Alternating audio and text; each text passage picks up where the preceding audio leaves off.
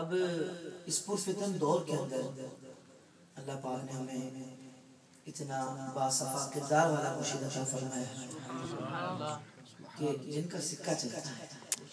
इस सिक्का चलने से क्या मुराद है भाई? सिक्का चलने से मुराद ये है कि भाई वो तो जो बोलते हैं बस अल्लाह पाक ने उनकी जबान में ऐसा असर दिया है लोग उनकी बात इस तरह मानते हैं, बस वो जो बोलते हैं, लोग वो करने लगते हैं। देखे ना, लाखों लोगों को इमाम शरीफ पहना दिया लाखे, लाखों लोगों के चेहरों पर सुनने रसूल सजा दिया लाखों लोगों को नमाजी बनवा दिया। लाखों लोगों को नमाजी बना दिया। ये मेरे मुर्शिद की नज़र, अल्हम्दुलिल्लाह। अब इस पुरफितन दौर के अंदर आप लोग तो यहाँ यूके में रहते हैं। आप लोग समझते हैं कि कैसा गुनाहों का दलदल है। कैसे गुनाहों का तूफ़ान है। और कितना मुश्किल है अब नेकियाँ करना, बाज़ार कितना मुश्किल नज़र आता है।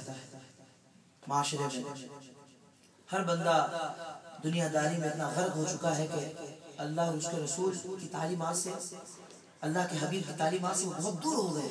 अल्लाह उसके रसूल की याद से बहुत दूर हो गए। काफिर हो गए। कहाँ जाए? किसको कहें? अल्लाह। अल्लाह ताला ने हमें ये दावत इस्लामी का महका महका मदनी माहौल दे दिया है कि खुद भी इस माहौल में रहकर आप अपने ऊपर हुजूर की मोहब्बत का रंग चढ़ाते रहे और लोगों को भी इसमें शामिल करने के लिए दावत देते रहे। अब वो दौर हो गया है कि आपको लोगों के पीछे पड़ना पड़ेगा। सिर्फ़ फॉर्मेलिटी नहीं पूरी करनी आपने कि भाई इज्तम होता है और आ जाए। नहीं। आपने एक एक इस्लामी भाई पर इफरादी कोशिश करनी मेरे मुर्शिद फरमाते हैं कि दावत इस्लामी का निन्यानवे फ़ीसद काम इनफरादी कोशिश से होता है। हाँ, हाँ। बाबा जान फरमाते हैं कि दीन का काम करना है ना तो बर्फ़ से ज़्यादा ठंडा और शहर शहर से ज़्यादा मीठा होना पड़ेगा। पहले आपको अपना लहजा अच्छा करना होगा। पहले आपको अपना चाल चलन अच्छा करना होगा।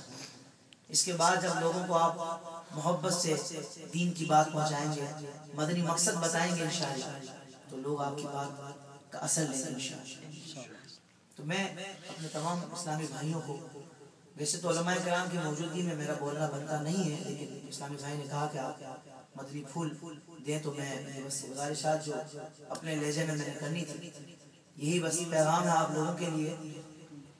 मदनी मकसद को थाम लें और इसके लिए जितना हो सके अपने शब रोज आप लगा दें और दीन का काम इंशाल्लाह करना है।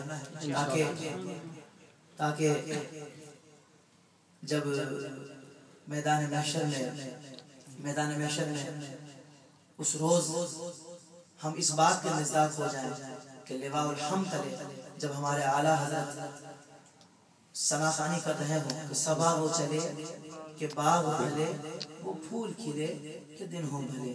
लिवा के तले सना में खुले, रजा की जबान तुम्हारे लिए तो हम भी उनके जमजमा खां बन जाए। हम भी उनके हम नवा हो जाए। अल्लाह कर हमें भी ये सादत मिल जाए और प्यारे आका सल्लल्लाहु अलैहि वसल्लम हमें भी अपने सीने से लगा दे, हमें अपने दामन रहमत में दे अल्लाह ताला मेरा पढ़ना आपका सुनना अपनी बात में कबूल करें।